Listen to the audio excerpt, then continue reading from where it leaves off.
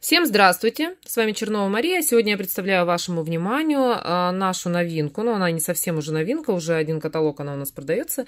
Это у нас такой вот замечательный фен. А вообще я хочу сказать, что вот эта рубрика бытовой техники для дома мне очень полюбилась, потому что компания работает над этим и э, каждый раз удивляет и придумывает что-то новенькое. И сегодня я хочу рассказать вам про вот наш фен. А, возможно, что у вас э, как раз намечается какая-то покупка, и вы хотите выбрать фен, возможно, что после моего отзыва вам захочется обратить внимание именно на фен Faberlic. Ну, давайте мы его хорошо посмотрим. Вот такой он у нас красивый. Кстати, здесь у нас есть а, такой фильтр для очистки. То есть вы его снимаете. Он снимается очень легко, выкручиваясь, и очищаете внутреннюю часть. У фена три насадки. Это у нас вот такая вот насадка. Она у нас для того, чтобы создавать объем да. Ну, честно скажу, сколько брала фена, фены никогда не использовала ее. Ради интереса попробовала а, такой насадкой сушить волосы. Ну, немножко неудобно, честно. Но вы знаете, когда нужно сделать массаж, например, головы, идеально подойдет. Но, не знаю, может быть, я как-то неправильно использую. Возможно, что вы по-другому будете использовать, и у вас будет это более удачно. Вот такой, посмотрите, такая вот насадка.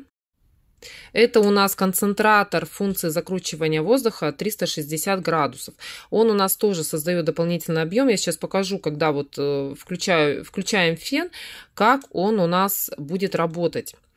И, конечно же, обычная насадочка. Это у нас обычный концентратор, который у нас концентрирует воздух, чтобы а, воздух стал более горячим и облегчить вам укладку и закручивание, а, например, локонов.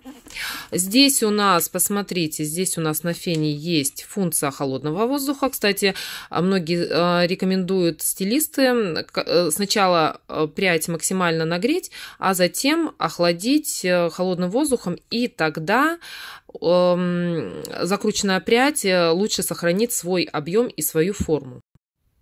Здесь у нас три режима нагрева. Это самый маленький, средний и большой. И э, также у нас получается два режима мощности. А сейчас я покажу вам, да, как вот они у нас будут работать. На что еще стоит обратить внимание в фене? У него есть такая вот подставка, что тоже очень удобно. У него есть вот э, такой фиксатор для шнура, то есть для того, чтобы шнур у нас не закручивался, не перегибался. Я вспоминаю с ужасом э, раньше фены, когда долгое-долгое использование, и вот этот вот шнур постоянно был закручен. Это, конечно, очень было неудобно. И такая инновация, которая сейчас во многих фенах тоже используется, это функция ионизации воздуха. То есть эта функция обеспечивает сохранность наших волос от высоких температур, а, от статики, волосы более послушные становятся, локоны более такие красивые, ухоженные, а, не пересушиваются волосы за счет вот этой ионизации. Как раз в нашем фене это есть. Стоимость нашего фена 3500 рублей и его артикул 910190. Сейчас я вам хочу еще буквально несколько секундочек показать, как же он работает.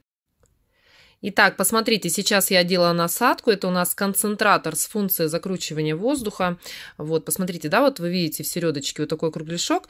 А сейчас я вам покажу. Ну, давайте э, нажмем на более слабую мощность. Вот, видите, да? А, то есть, когда середка крутится, получается, а, это усиливает поток воздуха, высушивание становится более быстрым, и как бы немножко вот эта середка, она придает объем и подкручивает вам волосы. Вот. Ну и давайте покажу вам еще, как работает максимальная мощность. Вот. Ну, прям вы слышали, да, что на слабом, на слабой мощности и на сильной мощности. А, я сама попробовала наш фен уже. А, мне, в принципе, я всем довольна. А, достаточно удобный и достаточно мощный. У него мощность, кстати, 2000 ватт. Так что, если вы планируете покупать фен, обязательно обратите внимание на новинку от компании Faberlic и э, не забывайте никогда, что вы можете всегда иметь скидку 20% от стоимости фена. Я надеюсь, мой отзыв был для вас полезен. Всего вам хорошего и до новых встреч!